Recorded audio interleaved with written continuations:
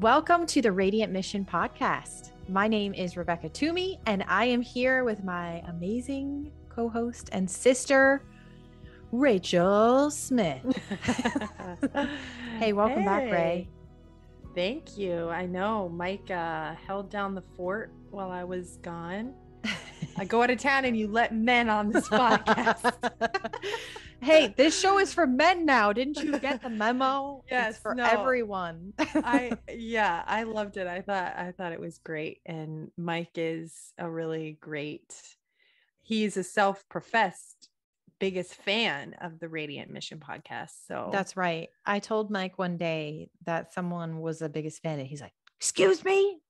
No, I'm the biggest fan me. I am the biggest fan of the podcast. So, well, we missed you. You went on a trip to Florida to visit yeah. our family. Yeah. And it sounds like you had a good time. Yes. Yeah. With a lot of beach time in. Enough to last us the year. Did you get enough uh vitamin sun vitamin sun from well, I can't even speak. Vitamins from the sun to yes. last you for fall and winter? Yes. Yeah. Well, I don't know if it will make it through the winter with all that gloom. Although in Texas, our winters are like bipolar. Each day can't decide what it's going to be. So, yeah, I don't know if we've ever talked about on here where we live now, or if we, I think maybe we did earlier in the early episodes, but Rachel is in Texas and I'm in Tennessee, yeah. but we are actually from Florida. Right. So, yes. we're native yeah. Florida natives, but I guess if we not really natives if we don't live natively in Florida. Right. I consider myself a nomad because I move around so much. like my children were born in California. You lived in New York or Connecticut, whatever. Both. Yeah. Yeah. Yeah. So both. we've we've been all over the place. I sometimes think it has to do with our upbringing yeah, uh, for sure. We, we moved, moved, a lot when we were kids. Yes, we moved seven times in the first seven years of my life. Yeah. And I always thought, oh, that was funny. But then by the time we moved to South Florida when I was seven, I lived there until I went to college. And then I went to college in Tallahassee. And then it mm-hmm. wasn't until after I graduated that I moved um, away. Yeah. Yeah. And now that I have kids, I really I moved so much, even more than we did as kids. That I, I realized that like last year that we had moved more times than the age that Everett was. Oh wow. in his life. Like he has moved more than 7 times in 7 years essentially. Yeah. Wow, Not necessarily different states, but just, just moves, yeah. Right yeah although well i think we should also say rachel and her husband are in real estate so to speak like your husband that's what he does for work is right. he works in um that type of industry and then you guys have also had investment properties and things like that where right. you you know like you purchased a place and kind of um I don't I don't know if flipped is the right word, but you flipped and then you rented yeah. it and moved somewhere else and then You've done yeah. that a couple times. So that's part of you're a real estate mogul. Wouldn't that be nice? No, but we really, we really, we really have come to realize that a very good way to invest money is in real estate, even if you're not going to own it for long. Because, especially with how crazy the market has been, you buy something, you don't get married to it, sell it in a year, and you can make a bunch of money. And that's kind of just been our. Is that the? Met- uh, are you going to write a book about that? Buy it. Don't get married to it. Sell it. Make a bunch of money. yeah. No place we've ever lived is um, been enticing enough for us to stay for more than a year or maybe two. I think the longest we've lived anywhere is two years.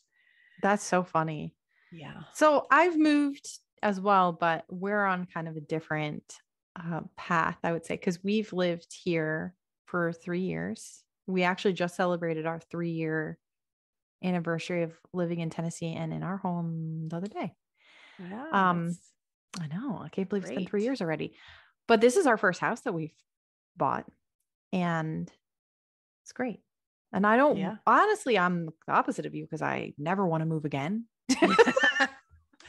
Just so here- because of the moving part of moving. That's what's funny is I really feel like nobody hates moving more than me, but nobody does it more than me. Like I hate the moving part.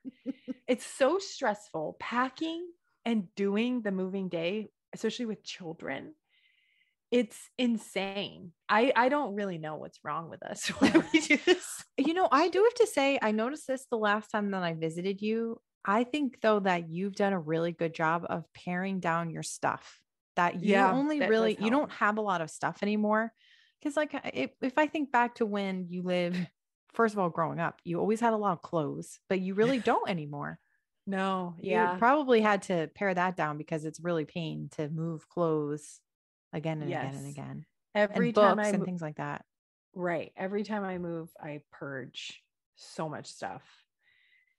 So, yeah, I don't Maybe the next move you'll be a minimalist by then. when we moved from Florida to California, I got rid of almost everything that I owned that we fit everything in one tiny pod, like the smallest size pod that you can get. So much so that it was packed with the little stuff we had. And the last thing that had to go in was our TV, and we couldn't fit it. We were like trying to slide it on the top of everything and it wasn't it was like we had bought the tv maybe a year before and so i was really upset because i'm like what are we going to do with our tv like and mom and dad were there helping us and mom was so sweet. She's like i'll buy it from you. So mom bought it's i think it's still the tv she uses now even though this is a long time ago yeah. Aw. she bought the Mom's the tv from me so i didn't have to be upset because i couldn't fit it in our tiny pod. It's great to have uh your parents help you which that is kind of a running joke is mom and dad help me with almost every single move we've done to the point that dad is like i'm not coming to visit you anymore you're gonna get me to help you move That's true. I forgot about that because they helped you guys the last, uh, I guess, like every time. The last yes two times once too. you have kids moving with kids like you gotta have people help you because someone's got to watch the kids they, they're not gonna help hey, well, one day maybe you'll hire movers. Oh, well, we actually do. so we have to have Oh. mom and dad help us, and we're hiring movers. So um, it's more about having someone to take the kids and do something while Mm. Chris and I handle True. the movers and all that. But yeah, I, yeah. one of these moves in there, we have, I've taken the kids and Chris managed the movers. So I, well, I don't, I don't advise this life. you don't advise this life. However, Rachel will be Yeah. moving the next uh, one to six months. you never know. that that's uh you never know exactly. Right.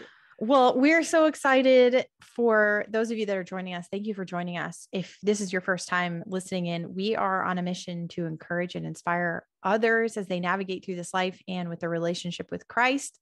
We started in our couple first few episodes specifically speaking to women and saying women in their walk with Christ and as they're navigating through life.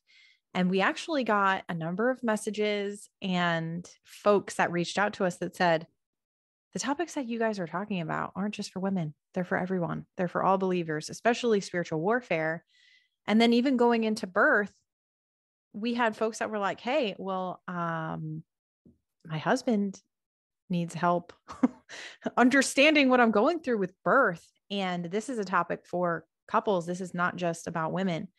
So, we want to welcome anyone and everyone who is navigating through life basically and just you know to let you know that we are faith based so we're approaching things from a biblical end but we really appreciate everybody who's been listening so far it's really been amazing to see god working and the conversations that we've been able to have with others has really been an incredible and inspiring thing since we started uh chit chatting over these microphones Yeah.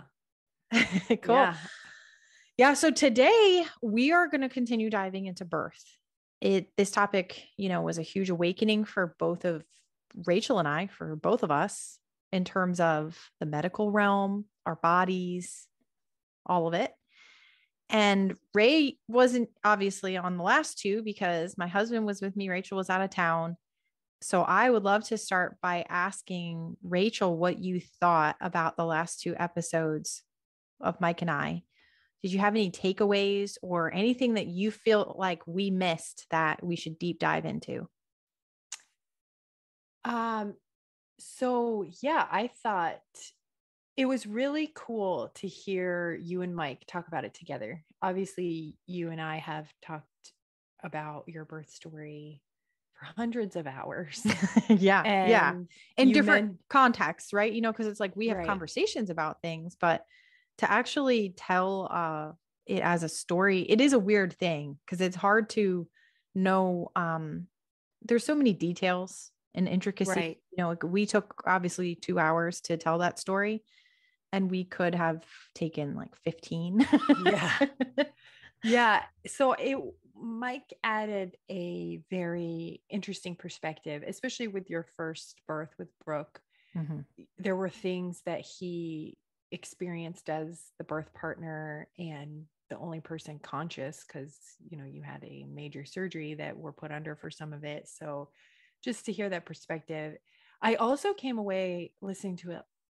Just I know how much research you guys have done because we have talked about it so much but it's really it was really cool to hear what an expert the two of you have come on birth and what happens with the woman's body and what is normal and you know just mid midwife mike getting his his uh his training and experience it was cool to hear from that male perspective Mhm. so That's yeah cool. i i really i really that. enjoyed it the one thing i did want to ask about is i noticed with your second birth with ben you Mhm. mentioned not knowing how dilated you were Mhm. because you never had any cervical checks the Mhm. whole pregnancy Mhm.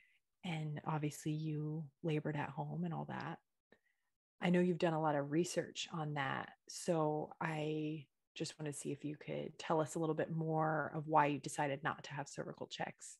Yes, definitely. That's a great question. And I I don't didn't think in my life I would ever become excited to talk about cervical checks, but that was something that I learned from other people. You know, you mentioned research. One of the big things that was a great resource for me was actually Facebook groups and different Facebook groups where women from different walks of life and everybody has a different experience. So some people were they were in home birth type of group or home birth unassisted group. So some people had free births or unassisted births. Some had home births with a midwife and a doula or one or the other. Some planned it and went to the hospital. Everybody's story is different. But there were so many women who were talking about cervical checks and how unnecessary they really are in terms of where you are in your labor progress. It's something that the medical system, and if you read Ina May Gaskin's Guide to Childbirth, you'll get a clue. That's how I got a clue, was from the way that she talked about it. But interestingly, even though in her book, she emphasizes that the body can reverse dilate, that when you basically, when you go into labor, it is a mind body connection that is occurring where the baby is ready to go. Um, they say in the medical communities, it's when the lungs are complete. The baby's ready to go, and there's just something that happens that triggers your hormones inside your body to say, let's do this. And when that connection happens, your cervix starts to dilate. Now, some people's cervix starts to dilate in the days before labor actually begins. And that's why when you go to the doctor in the weeks leading up to birth, they'll quote, check your cervix and say it's two centimeters or you're three centimeters. And we have been trained as a society to think that that that's an indication that you know we could go into labor at any moment but really the truth is even if you are at a one or a half you could go into labor at any moment. Right. it's not really the best indication. The the only indication great indication that we have for when a baby is coming is when the baby comes. When to be honest the head. yeah when you can see the head that's when you know that it's happening but um when I kind of I don't know how to explain it, but there was just something about reading about it and then reading different women's stories of women who do not check their dilation. That was when something clicked for me and I was like, "You know what? What did women do before someone else checked them? Before a doctor or a midwife or a nurse or whoever might be the person to quote check dilation, what did women do? Maybe they checked themselves. What did they do before that? Probably nothing. Yeah. They no one was probably sticking their hands in there to see what was going to happen. They just knew when the baby was going to come out, the baby was going to be born, you know? And I know this isn't a very uh, uh, eloquent way of saying it, but it's just kind of how I felt as I was going into it. Because, and if you remember my story about that doctor sticking her hand in there and swooping it around. I developed a lot of probably you could call that trauma, like personal trauma around the idea of someone else sticking their hands in my body mm-hmm. that I was determined not to have that happen again. And I knew that even if no one did that, the baby would still be born. And so to me, it just made sense not to do it because right. I could have trained myself and I read enough about how to check your own um, cervical dilation that I could have done it or I could have trained Mike to do it. But I just made the decision that I didn't want to be um, discouraged if I checked myself and it wasn't where I wanted it or thought that it should be, or maybe I didn't check it right. You know, what if I did it and I thought that, oh my gosh, I'm only a two and really I was more. So I just said, you know what, I'm not going to do it at all. And yeah, guess what? He was born. yeah, I thought that was really cool. It's almost like putting yourself on some kind of time clock, but not time. It's like measurement clock. Yeah. That if you're only five centimeters, oh, the baby's not going to be here for a while. When yeah. really people go from five to baby coming out in short amount of time sometimes. So very yeah, that makes that makes a lot of sense. It's it's just all really amazing to think about and to hear how far you came between the two births. Uh, yeah, it totally was. And you know too from my story that it really was it was one of the most discouraging moments of my entire birthing time experience with Brooke was getting checked and then them saying, Oh, you're a two or one yeah. and a half or whatever it was, and feeling like there's no way. And I'm pretty confident after going through this the second time that I did reverse dilate. I feel like I was mm-hmm. further along than I really was before I walked through those hospital doors or even got in my car, you know? Mm-hmm. So this is really um, all to say for those that are planning births and stuff like that, this may be something to consider because it is something that can affect you mentally. And when your mental state is disrupted by these checks and things like that. And so let me just say, you can decline cervical checks. I don't know if anybody knows this, but when you go to the doctor, because I did have uh, a VBAC doctor at the beginning of my um, what is it called pregnancy pregnancy brain. Yeah. Still still here you're five months later. Um when i was going to a doctor you know you don't have to change into a gown. You can stay in your clothes and say you don't want any checks and not be checked. And they'll yeah. they'll respect that the entire time if you as people in the birthing community say no is a full sentence. I've heard that before.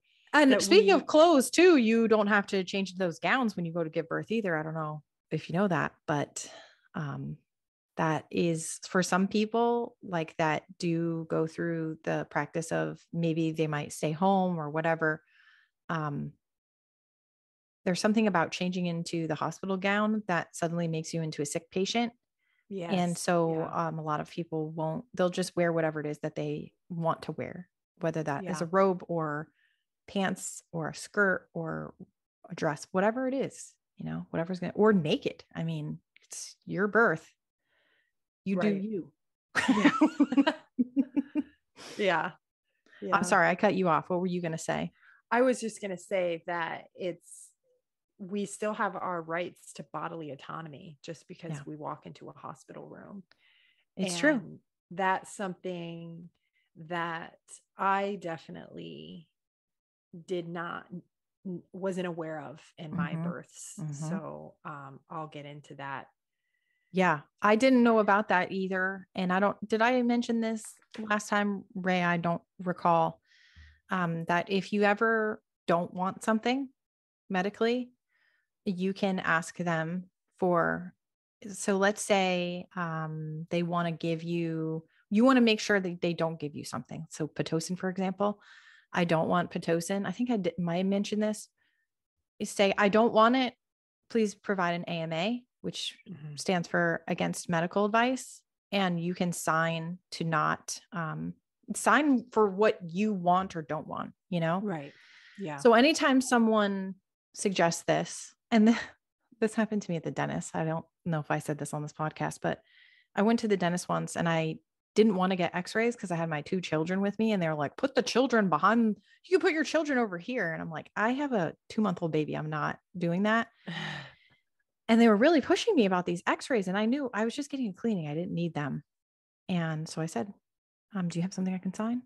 Because i i'm i'll sign off. I don't i don't need x-rays today. And sure enough they bring out the uh, ama papers. So you can always you can always advocate for yourself but you have some very crazy stuff that happened during yours uh, your birth with everett. And then again you had a c-section with both of your boys.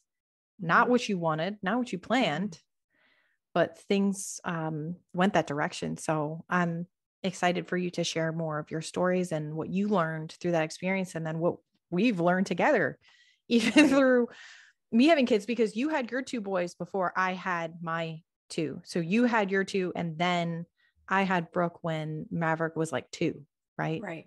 hmm so Yeah. Yeah. Cause you had Brooke in 20, end of 2019. Mhm. So yeah, he was almost two. Yeah. So to get into, um, I'll just start with Everett's birth story. My births, eh, it's when I thought about telling my birth stories, I'm like, well, Rebecca has these two contrasting births and this like redemption. I'll just kind of preface that this isn't going to be that. but as I as I thought about it, it doesn't make every single mother's birth story is significant and it matters. And there's so much that I have learned.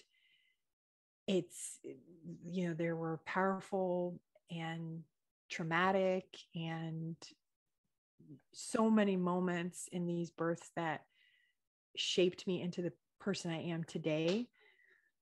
So, and I also think that there is an importance of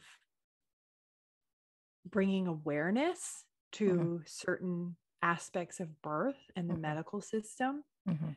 that what I had, what I experienced is really the norm. So I do want to preface with one other thing too. And we've talked about this a little bit. If you're listening to this and you're pregnant, I might recommend not listening. that you've talked about this concept about avoiding negative birth stories while you're pregnant Mhm. and that concept you you you said in in your birth story about deleting old files on Mhm. birth Mhm. and programming in new files on birth when you're preparing for birth Mhm. it's not about avoiding all birth stories it's just focusing on things that are empowering and positive and uplifting and the birth you want to Mm-hmm. have. Mhm. And the reason that I say this is when I was pregnant with Everett, I wanted more than anything to have a natural birth. That's something I've wanted since literally I was a teenager. And I had heard some very traumatic birth stories that were traumatizing to just like, of course, these women's birth stories mattered, but I was very advanced pregnant and literally crying. And it just fed into my anxiety a lot. So I would just say, if you're Mhm. someone who is pregnant and maybe is on the more anxious side, you know, maybe you want to be cautious about um, even listening to our birth stories. I think the best time to hear birth stories is when you're already a mom or before you come become a mom or you're Mm. just if you're Maybe you're like a couple weeks pregnant and this is the time for you to learn what to do at for the rest. But right I definitely think that the end, the last, I would say four to six weeks are so important to become mentally prepared yeah get your that it's not the time to be focusing on negative things. And, you know, this is something I would like to say for everybody that's listening. Please, please, please, when you see a pregnant woman, do not dump Yes. negative stories on her. I don't we we talked about this before. It's like why do we do this? It's just a natural thing that comes out of us. But if we could reprogram ourselves to instead of doing that, when we see someone that's pregnant, say, "Oh my gosh, you're pregnant. That's so wonderful. This is the most exciting and wonderful time. I'm wishing you the most beautiful birth." yes you know let's focus Yeah. on the positive here because first of all it doesn't have to be that way as we know from the stories that you know mike and i shared last week i did have an amazing birth and it was such a good birth that i want to do it again like Yeah. i left that going this was awesome i would i would give birth again in a heartbeat yeah but you don't really run into people that talk like that because most people go into the medical system and it doesn't support birth that way. It's not No. the same. I think all women can agree that we have once we have our babies and everything that part of it is beautiful and it's like, "Oh yeah, well, I'll go through it again because I have my babies." But not everybody. Some people have such a horrible time that then they it does scare them away. But that's not how it has to be. And Right. actually, we're going to be having a guest come to speak on this podcast next week. Um, and her name is Brittany, and she owns and founded a company called the Biblical Birth School. And she teaches people about birth and how to look at it from a biblical perspective, how to get through that, you know, those ending end part of pregnancy and birth in a beautiful way that is God filled and spirit filled and however that might look for you. You know, not again, I'm not always here trying to pr- push like home birth stuff, even Yeah. though I personally am a huge fan. Number right number one fan. yeah ab- absolutely and so i'll just say i have wanted to be a mother my whole entire life since i had all those little baby dolls as girls I think both of us always Yeah. wanted to be Yeah. moms and loved kids and stuff like that. yes yeah so it's funny because in high school my favorite show was a baby story on tlc i used to come home from school and watch it. And I remember one time lying on the couch watching it and mom walking by, like, why do you like watching this stuff? because they like showed it all. And I remember watching these women give birth in bathtubs, water births, and think like it's the most beautiful thing I've ever seen. And I want that one day. So, of course, when I got pregnant with Everett about seven years ago, I envisioned that. That's what I wanted to Yeah. do. And you start out when you get pregnant for the first time, you know, the first thing you do is find a OBGYN to call and make an ultrasound appointment. And I was living in California. And so I did that. And very early on, started research, researching the hospital. And they do not have birthing tubs, they do not allow um, water births. They're actually the hospital I gave birth at at one point in time did, but they took them all out and they didn't Mhm. allow water births anymore. So very early on in my pregnancy, I'm like, oh, Wait, well, that's one. do you know why they remove birthing tubs? Do you know why? do you know the why behind that? So it's because it's inconvenient for the doctors. Ah, that makes Because sense. they don't want you laboring in the water because they don't want you to accidentally have the baby in the water because that they are not in control. They want can't you laying their on your hands up there. no, they can't. They want you laying on your back on a hospital bed with your legs like Yes. you know, so that they can be in control of the situation. And actually, so here in Tennessee, there are some hospitals that have birthing tubs that they'll allow you to labor in. But as soon as it is time for a baby to come out, they will literally physically remove you from the tub if you will not get out. They will bring people in and lift you out and take you out because they won't let you Oh give birth in there.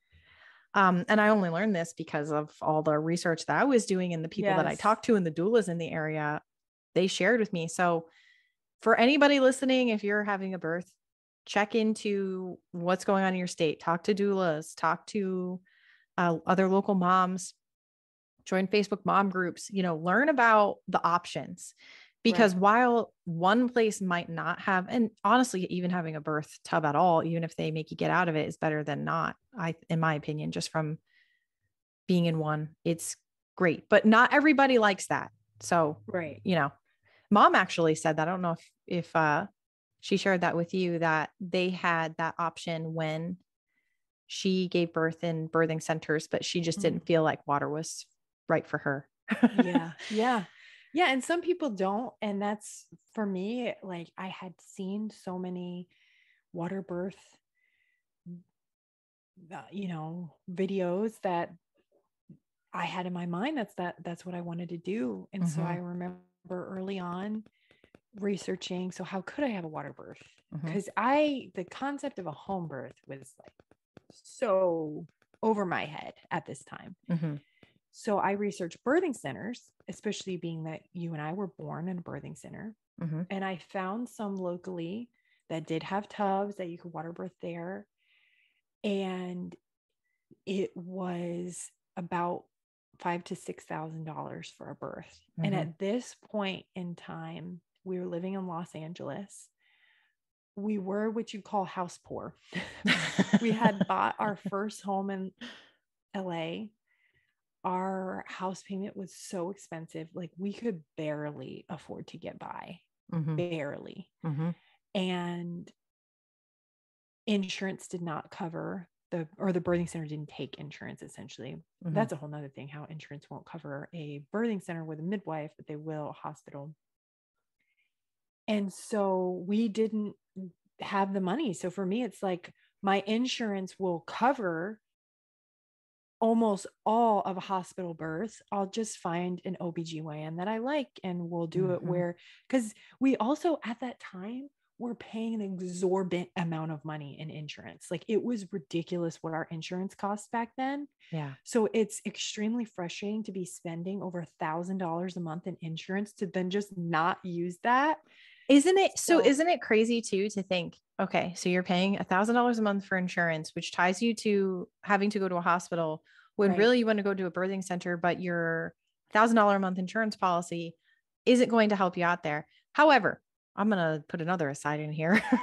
there are medical billing companies that will and can try to help to get coverage for insurance coverage for things, but it's after the fact. And so, mm-hmm. for example, because I had a midwife, technically I could take those bills and submit them to my insurance. Sometimes insurance will actually cover some of that stuff, but it it's the place where you're going. So it's the birthing center. They don't want to deal with billing. They would rather handle cash or handle, you know, credit cards from people than have to do medical billing. So you as the patient or as the I guess you are the patient, you know, you as the birthing mama have to then go back and try to fight your insurance company to help cover that. But I have seen women in my groups who have gotten money back from their insurance companies who have had home births with midwives or birthing centers or vice versa. It just all depends on the state. It all depends on the insurance company. But that is an option. And then, Yeah. of course, you also could use your FSA to mm-hmm. pay for your doula, to Right. pay for, you know, any supplies or anything that you might get. But anyway, that's just an aside. Sorry. No, no, I think that's great information. Unfortunately for past Rachel and Past Rachel didn't know, and I, didn't know past- any of. I didn't know any of this either. But that's why Yes, we want to share this now, right? Right. And this is what is helpful about learning this kind of stuff that I did not know at the Mhm. time. Mhm. So for me, it's like I'm gonna go where my insurance covers because that's what we're paying for. And we also didn't have like their Facebook existed back then, but it wasn't.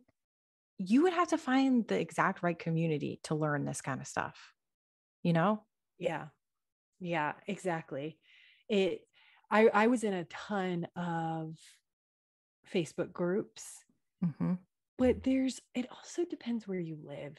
Yeah, like that's true. the, the culture man. in California, like even though it's called the land of fruits and nuts, no no offense to Californians. It's it's just what people call it. It makes you it gives this like image of like crunchy hippies. Okay. But really, the system in California is incredibly medicalized. Like mm. everything is the culture so there. even though they say crunchy, it's like really not that no, crunchy. at least not in the area that I lived, and I did not find any cr- crunchy circles in Los Angeles. So I went with an OB that was recommended. I did like her a lot. And she, I just remember liking her. She was mm-hmm. nice. It was a woman. And so I proceeded through my pregnancy under her care. And it was in, so it was about 27, 28 weeks. I during my ultrasounds, which I would have at least once a month, they started noting that he was breech, but it they didn't really think it was that big of a deal because babies flip all the time. And at that time I had taken a I started taking a birthing class. I actually got a Groupon for it. I don't even know if Groupon still exists it does. but, but I got this Groupon for this birthing class that was like once a week for a month or so that Chris and I went to. Chris is my husband for anyone who hasn't heard me say it a bunch of times, but we went to this birthing class and it was so great. I really learned like she educated us on the, you know, anatomy of birth and what happens in the mother's body. She trained partners on how to support the mothers and and I I remember sitting in the class and she was like she was actually kind of hippie. Maybe I should have talked to her more. She probably needed crunchy circles. And I remember her like saying some kind of thing of like, I wish you light in your pregnancy. And I mentioned to her that my baby is breech. And she just said, Oh, I'm so sorry. And I was like, What? I need to worry about this? oh no. And um she's like, I'll be sending thoughts that your baby flips and and at that point I started thinking like, oh, I need to look into getting this baby to flip. And, it, and she recommended me look into spinning babies. Mhm. And so I did, and I did watched a bunch of spinning babies videos on YouTube, did a ton of exercises, continued to proceed on. Now I'm getting into 33 plus weeks, and now we're having conversations with our OB of he's still breech. Like, what is the plan from here? Mhm. And the options that I was given is if he does not flip by 37 or 38 weeks, we can't, we either are scheduling a C section. That was my option number one. Or option number two is to do what's called the external cephalic version. Is that how you pronounce it? It- in- Cephalic. I don't know. Ver- it's a It's in- version. ECV. Yeah. ECV. An external cephalic version, ECV. And essentially what that procedure is is trying to manually flip the baby from the outside Mhm. so we started having those conversations and in my mind the thought of a c-section really like shook me that wasn't anything that i had considered whatsoever Yeah. so i I'm went sure. from Who Yes, does? so- Who's like, oh yeah, I'm gonna get to the end of this and then, you know? Yes, especially for me, I have two phobias in life.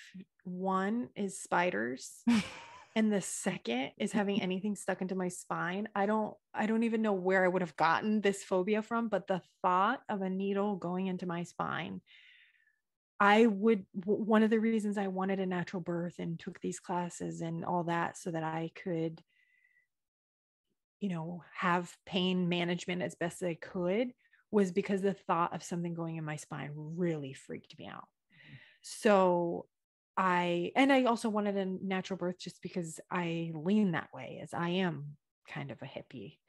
So at that point I went home and I started doing everything that I possibly could even more so to flip the baby.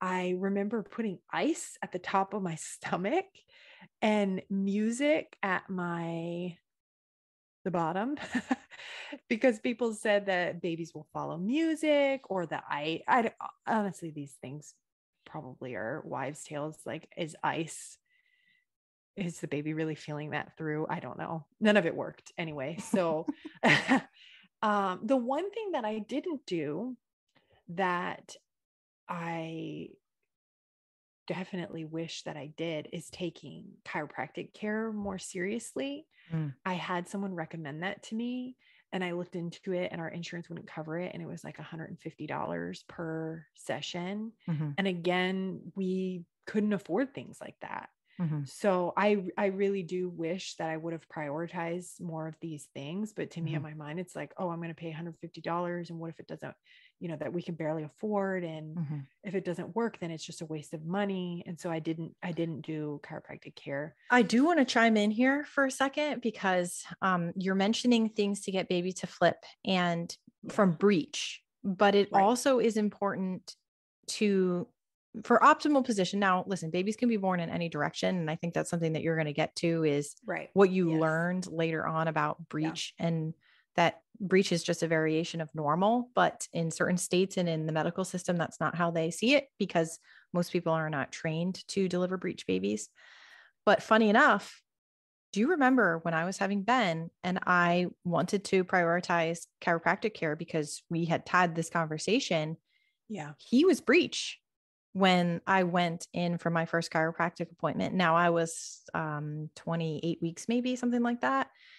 And then one chiropractic appointment, he flipped. But now my situation is different from yours, which you're going to get into a little bit more. Yeah. But a couple things I want to throw out there for those that are listening is chiropractic care from I honestly would recommend it third trimester, maybe second, late later second half uh, later second trimester and beyond is where it's going to give provide the most help. You can find places that will give you uh, great packages for prenatal um, chiropractic care. Most places are actually around 40 to 50 bucks a session or 40 to 60 depending. So just, you know, look for somewhere great. Um, I have a I actually happen to know um, one of the owners of 100% Chiropractic and think that they're great. I like the way that they service their customers. So that might be somewhere if you have one of those in your area. I went to a local uh, chiropractor and he was great and we really aligned. He was a, a Christian and it was great to like go in there and listen to Christian music while I was getting adjusted. But also, I was worried about posterior because Brooke was posterior. And so there were other things like leaning forward. This is actually Mhm. my desk that I work at. And I made sure never to sit back. I was always leaning forward because that prevents baby from settling. They also say crawling on the floor every day. So I would literally crawl on the floor, which is easy when you have a toddler because they're all over the floor, crawling on the floor, uh, sleeping on your left side. I'm sure people have heard that, but not sleeping on your back. I did sleep on my back, propped up with Brooke, and she was totally posterior when I went into my labor time. So, those are just a couple of other things. Just position of my position, like what I did with my body, my spine, the way I sat, those weren't things that I ever thought about when I was pregnant the first time. And it sounds like you didn't either until the end. Mhm. And then by that point, we've already kind of done the bad habits that we need to undo. So Yes, this Hopefully is the some of kind of these tips help. the I I have since read a lot more about this. uh, Like you said, the uh not leaning back very as as much as preventing as much as you can pregnant Mhm. like of course sometimes the pregnant woman is going to lounge around on the couch or Well, think about that's all you want to do, right? Is lounge. Right, But they yeah. say don't like sit forward. Yeah And it, it takes a lot of conscious thinking to do that. Yes. Another one is crossing your legs. And so it's funny because, like, learning all these things in hindsight, I did all of these things. Sure. I did all those things too my first time. Right. So he, yes. So he was breaching, he wasn't flipping, and the weeks are creeping closer. Mhm. And I was, you know, having appointments every other week or every week at that point with my OB. And I was like, well, we're going to do the version. I want to do everything to prevent a C section. And so she scheduled, you have to actually check in for the hospital for that. They're essentially prepping you to do an emergency C section because there's mm-hmm. risks involved with the ECV. Mm-hmm. Of, Yes, because you could in moving, turning the baby, the baby could actually puncture their own sac, Right. breaking the water, which can lead to labor. Exactly. And that's why they, to the best of my knowledge, won't schedule it before 37 weeks. They want you full term so that the baby Yes. would be ready Yes. to born be born in case it induces labor like that.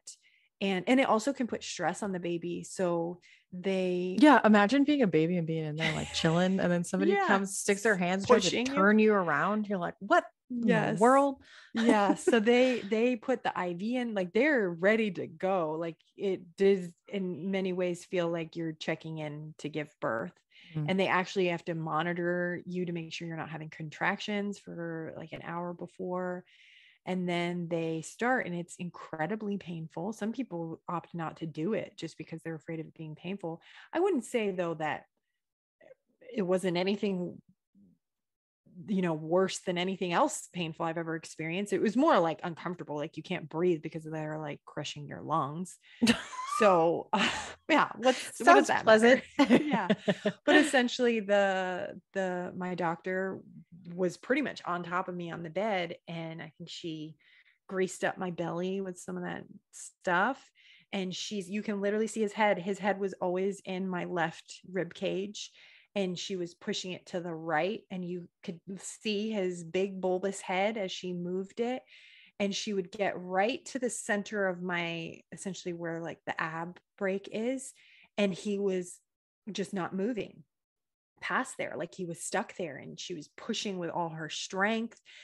And at those points it really only takes a few minutes. So to me that's why the pain's not that bad because it's just for Mhm. a minute or two and then she would try again and then she had her um, her practice partner come in the other doctor and he tried and she she said a few times i think there's something off with your uterus i think it's something about the shape of your uterus of why he can't get past this this this certain position Mhm. and now she did tell me beforehand that external versions, they have like 50% success rates. So it Mhm. really is like a roll of the dice on whether or not this is going to work. Mhm. So I I really wasn't having a lot of expectations. I was hoping. Yeah. And so when it didn't, I was disappointed, but I had already started to mentally prepare myself for a That it C-section. wouldn't. Yeah. Yeah. Doesn't and it kind of seem crazy that they would go through such efforts to turn a baby, but wouldn't go through the effort to simply learn how to deliver breech yes. babies? It seems silly to me. Like, why would you try to move something that's clearly in a certain position for a reason in the womb? Because there, the your baby was in that position for a reason, be, Mhm. like you're insinuating. And I think we already kind of gave a hint to this before. But it's like, then why not let the baby be happy how they are and deliver this baby you know, the only dangerous position for giving birth is when a baby is transverse, which is where the arm comes out first. If a hand Mhm. comes out, it's no good. right. But anyway, Yes, and that that is that's the thing about this culture and the medical system is doctors only know what they're trained. Yeah. And unfortunately, and I did not know this at the time, but unfortunately, they are, I believe it was about 30 or so years ago that they stopped training vaginal breech births in medical schools for OBGYNs and they started focusing on training surgeons Mhm. for such an outcome as that. And OBs are then taught that the reason that they don't deliver breech vaginally is because it's too dangerous. What's very unfortunate is so much research has shown that that is not the case if someone is trained on Yes. how to properly deliver a breech baby. So, with all that said, I didn't know any of this. I you weren't in that remember- position. Yeah. No. But I do remember posting about it in one of my mom groups of how disappointed I was. And someone saying, there are doctors who would deliver a breech baby, just go find one. Mhm. And I remember like reading that and thinking like, well, how am I going to do that at 37 weeks pregnant? Like it's just very intimidating Sure. to like what do I like they're telling me this is dangerous and this is my only option to have a C-section it just really feels like I was just very resigned to listen to what I was being told instead Yeah, of researching and it is very hard to do this kind of research when you're so pregnant It is. Hey, man, I know my, you know, midwife um dropped out. I was Right, 36 weeks and yeah it was definitely it's a, it's not that's not the time that you want to be Right. thinking about changing course. right know? exactly yes so I I we scheduled the C-section Mhm. for 39 weeks I actually was it was scheduled for almost 40 weeks Good. I don't Even better. I don't I think it was something to do with her schedule. I'm And sure. yeah, yeah. And then I just remember it was almost 40 weeks because at 30 it was my next appointment after this version. So only a few days later, I had a checkup appointment and she was like concerned about my blood pressure. It was very high. Well, it was relatively high at that time. And she looked back at the record and the few days before when I was at the hospital for the version, it was a little high, but they didn't really think anything of it too much because I was there for something pretty stressful. Mhm. And so she was slightly concerned about it enough that she went in and changed my C section to be several days sooner because she's like, "Eh, I don't like the way your blood pressure is looking. And they have you scheduled at almost 40 weeks. I'm going to change this for X date. Mhm. I- and I was due December 26th. So, so, was So you're like, fine. Probably. Yeah, I yeah. So I That's probably that's probably why she changed your date. Have you ever thought about that? That Probably, you, yes, you- yeah. She probably had you scheduled for December 24th and was like, wait a second, I made a mistake. I'm not here.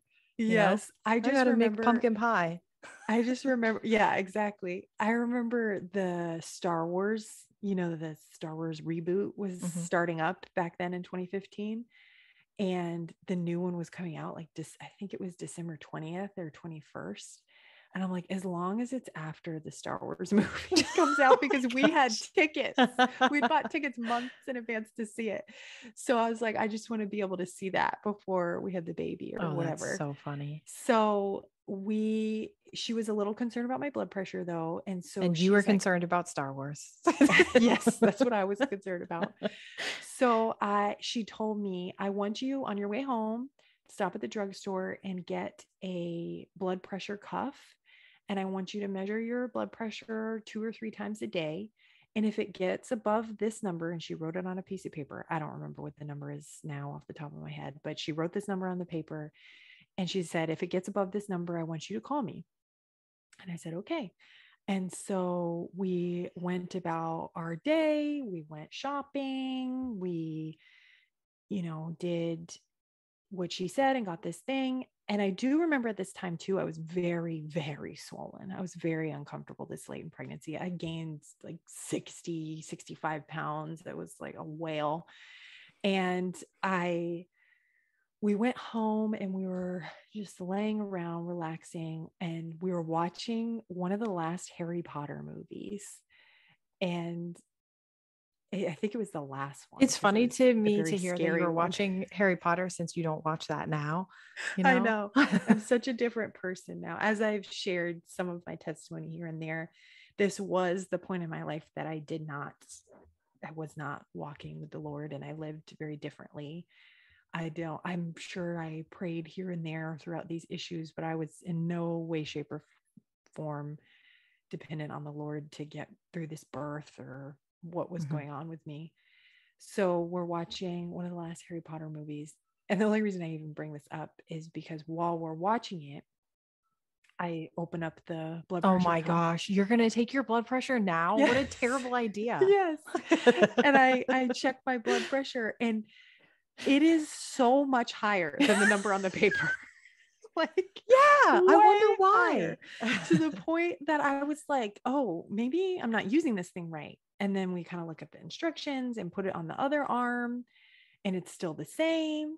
And then we're like, maybe something's wrong with it. So we took Chris's blood pressure, and his was within normal range. It wasn't the same number. So then I'm like, maybe I'm just stressed out from this movie. yeah, really. Turned it off and we, I just, uh, I just like laid for a few minutes, took it again, still super high. So I'm like, okay, I guess I need to call her. Like it's not going down. So I call her and I don't know what I thought was going to happen. I think what I thought is that she would just like tell me to relax or give me a medication or something. I didn't have any idea what why blood pressure really mattered in pregnancy. And so I told her that we checked it multiple times and this was what the number was. And she was very calm and she said, Okay, so here's what I want you to do. You know, there's nothing you need to worry about. I want you to just go get some of your things together, make sure you have a bag and we're going to have this baby tonight. And I'm like, what? what do you mean? Why? and I start crying and I'm freaking out. I'm like, I'm not ready to have this baby. Like my house was a mess. I really wanted to have like clean my whole house before bringing a baby home. Yeah, some nester your house was yeah. clean. and so I'm asking her, and so she's, yeah, I know. I, I was not a nester for sure. I was very lazy. so she, uh, while I'm on the phone, and Chris just looks panicked and starts rushing around, installing the car seat while I'm on the phone. I hang up with her. I call mom, hysterically crying, like, I'm not ready to have this baby. I can't do this. Mom gave me some kind of pep talk and then I um I calmed down and I just went and I got in the shower and started shaving my legs for the first time in 6 months. and, and Chris, I remember I was taking my sweet time and Chris comes in and he's like, "Don't we have to go?" like it sounded serious and i'm like we will go when we go i really relate to that episode of the office you know when pam goes into labor and she's like panicking about like i'm not ready to have this baby. I can't have this baby. Like we will go when we go. And so I, I was very much feeling that of i wasn't i wasn't ready. And and i was scared. I didn't want to have this c-section. I was really mm-hmm. scared. Mm-hmm. so we we got it together and we dropped our dogs off at my really good friend's house and they took the final picture of us before we became parents. And we checked into the hospital. And this was in the evening by now. and they started checking my blood pressure and it wasn't as high anymore. It was like borderline, Mhm. but it wasn't that high. Mhm. And so what they explained is that she said her concern is that I am borderline preeclampsia. And she'd been concerned about that a bit for a few weeks based on my urine.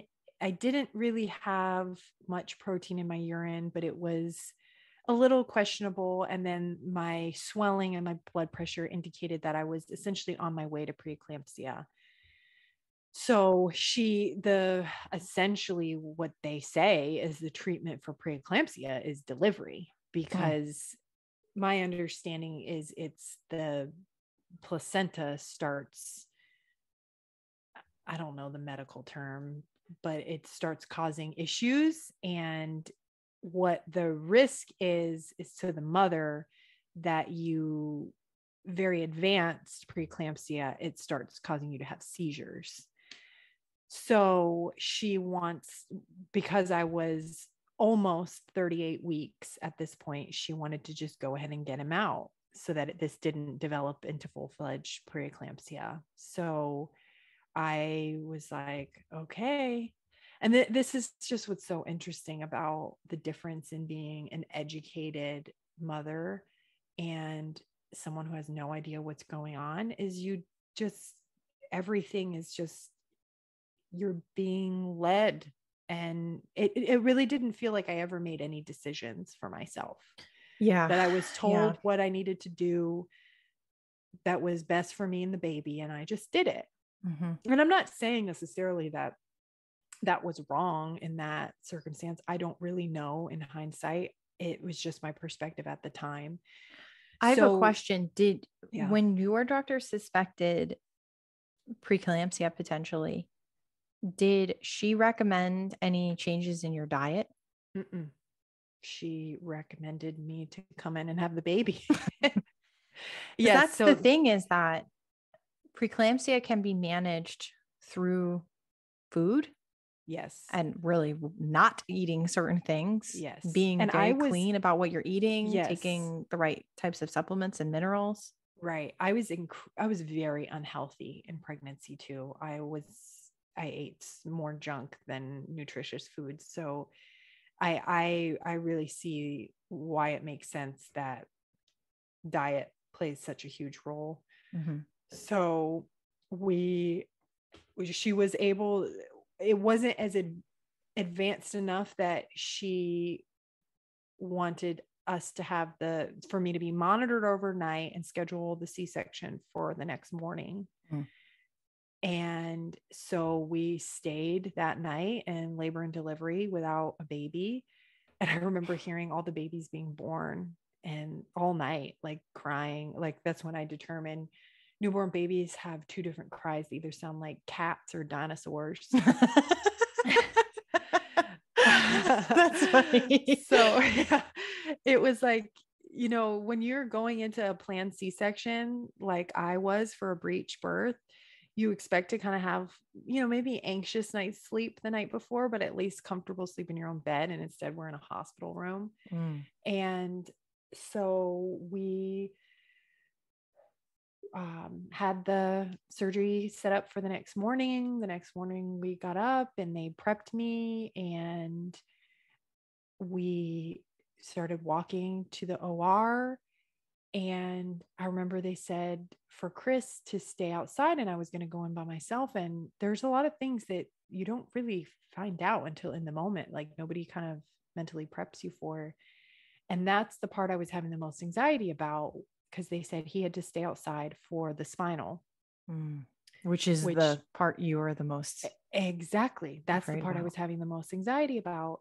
And so they, I was like, he can't come in with me. And they're like, no, for, I don't know, it's like keeping it sterile. Which is I don't- ridiculous. I don't know why the, the partner can't be there to support them. But I did have a nice nurse, and she, like, one nurse was like, the nurse was holding me and helping me breathe through it as the anesthesiologist. Maybe it's because it the husbands it. pass out when they see this. maybe it's um yeah it it was very unpleasant. And I will say, um, the one thing that I I un, you know could kind of understand from your prep with with your second birth is I had read the Hypnobabies book when I was early in my pregnancy and mm-hmm. preparing for this natural birth that I now wasn't getting. Mm-hmm. And I didn't take all the class like you did. I just read the book. So I yeah, had or listen to the audios. Right. Yeah. I had just read about the breathing technique of like mm-hmm. a certain amount of breaths in and holding it and breaths out. And I used that to mm-hmm. help with my because I have a history of anxiety and panic attacks. And so while I'm having this spinal done, I felt like I was going to have a panic attack. So I was using those breathing techniques and it really did help me to just keep calm. Good. So Good. they, you know, place this the spinal and then they kind of rush you to lay down and it is just so surreal having a C-section like that. It's like yeah, it's sure. like an out of body experience of like yeah how is this happening like it's it's it's just wild and finally when chris came in the room i felt so relieved and just having your partner there whatever kind of birth you're having is they play such a huge role in our mental mm-hmm. space. It's a support and, system. Right. Yes exactly. And i was also given the opportunity in this birth given the opportunity because the hospital makes all the rules. I'm like a prisoner talking about how my overlords treated me. I'm just kidding you're not but though they, but it's true yeah they allowed two people in the or Woo-hoo. so my best friend lindsay was in there came in with chris and she kind of stayed back and was taking pictures and videos mm-hmm. while Chris held my hand. Mm-hmm. And because I they couldn't both be at my head. There was enough room. There's like so many doctors and nurses in there. and so I just watched Chris's face to and continued that breathing the whole time. And I remember his eyes getting really big and I was like, I wanted to say to him, stop looking like that because it was freaking me out. The face he was making, and he was making that face at the point that they were pulling his body out. Oh my god. And it was just like I was watching the birth of our son through Chris's eyes. and it was it, it, and what's freaky too about a c-section is yeah you're numb to the pain but you can feel everything and so they pulled him out and they put him under the curtain and they let me have skin to skin, let me again mm-hmm. have skin to skin immediately. And it was amazing and it was beautiful. And I just remember hearing Lindsay's voice crying, saying, He's the most beautiful baby I've ever seen.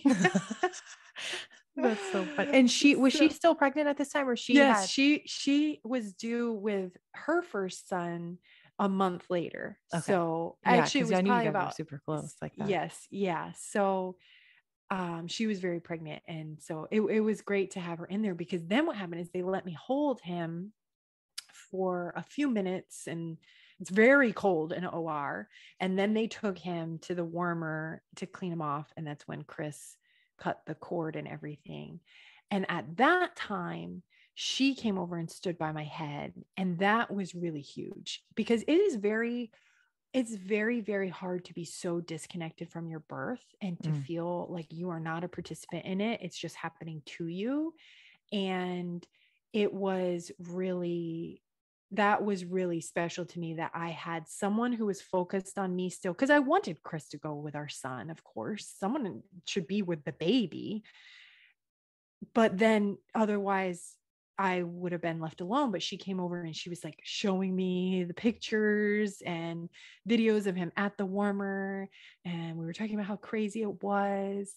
And it was, but then it was just so exciting. And it was, it was, it, it was honestly the best experience I think that you could really have with a C section. Mm-hmm. We had a good group of people in the room. I remember the anesthesiologist and my OB kind of cracking jokes about the Star Wars movie um, that we were not able to see. And uh, so it was it, it was a good atmosphere. Mhm. And then I remember the so they have to do a bunch of stuff, as you know, after the baby comes out to clean out your uterus and put all your organs back together. And so you back up. And I remember the my OB saying to me, Well, and this is from the other side of the curtain. So I can't see her. I just hear her voice say, Well, I know why he was breech. You have two uteruses in here. And I'm just like, What? and I literally just thought it was like I was high from all the drugs that I did not know what she was talking about. I could not conceive what she was talking about. uh-huh. And she said, I'll go through it with you later when you're in recovery. And I was like, okay. And so we we get me all put back together and I was rolled out of the OR holding Everett and as happy as could be and as swollen as could be. I look like Shrek. Like I, I did not realize how much more you could swell once they pump you full of tons of fluids. Yeah. So Yeah. it yeah, it was a pretty uncomplicated breech cesarean.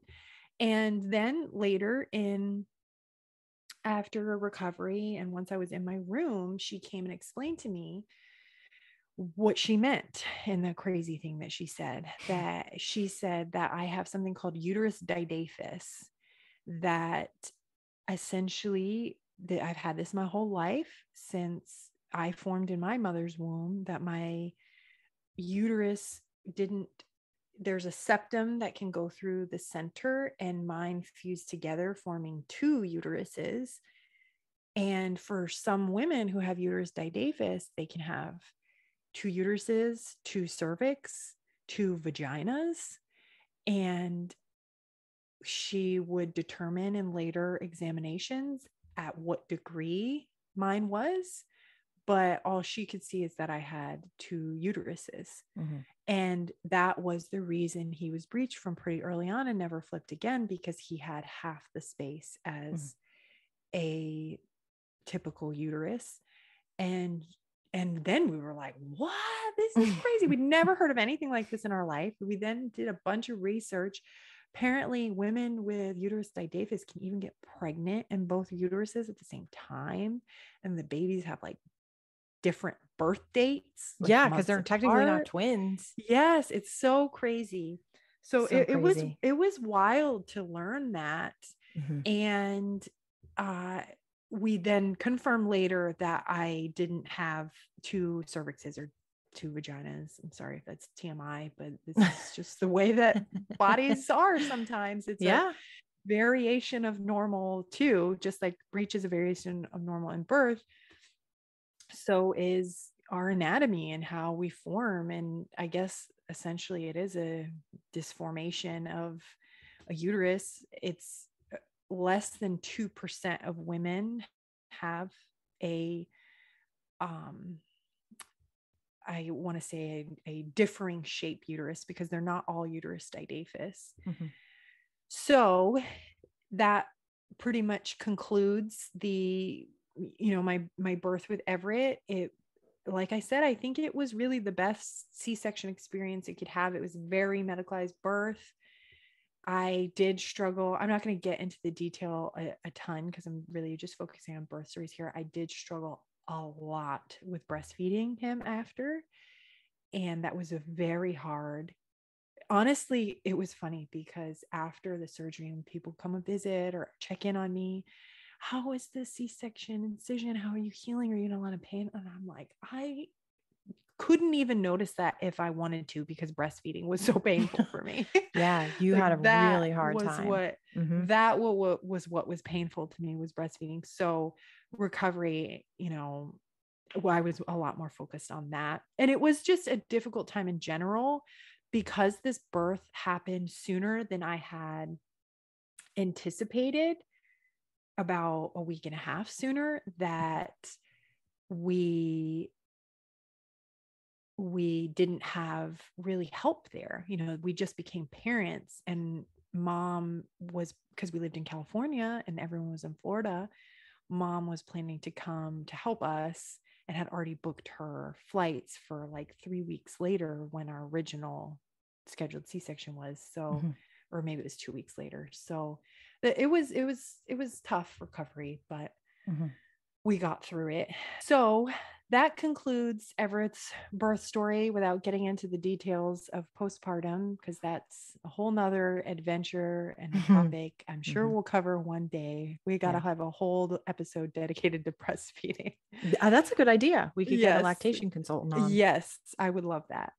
So I have a ton to share about my second birth story with Maverick that it a lot of things go similarly but there's so that it's it's essentially my my trauma birth with maverick my mm-hmm. second son so we're going to hold off on that one until next week and conclude here today so unless there's anything else you want to yeah, I think thank you, first of all, for being open to sharing both your birth stories and your postpartum stories. I hope that these stories help other women as they're mm. navigating, whether they've had, you know, you've had babies or not.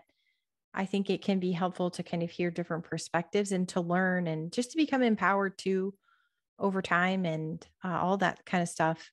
I am glad to hear also a positive C section story because not mm-hmm. all C sections are terrible. I think that it helped that in some ways it helped that you were scheduled and that it wasn't something that happened in the moment. Yeah. Um, but I also do think that there's things that we can all take away from breech as right. a concept. Now, we finally get to conclude your breech situ- scenario was different. And that was why that right. version really didn't do anything because there was no way that he could have turned in that small space. Right. So it was cool that you got an answer for that. But yes. thank you for telling your story. And I can't wait to chat more about Maverick's story on the next one because that was certainly a wild time. yeah. Yeah, absolutely. It's I I do I do think hearing positive C-sections is is it's important too yeah. And like I said, this was not the birth that I had ever imagined, but I never imagined having two uteruses. And I don't think anybody imagines that for themselves. So much there, a shock. yes. Yeah. There are so many lessons that I learned from that though.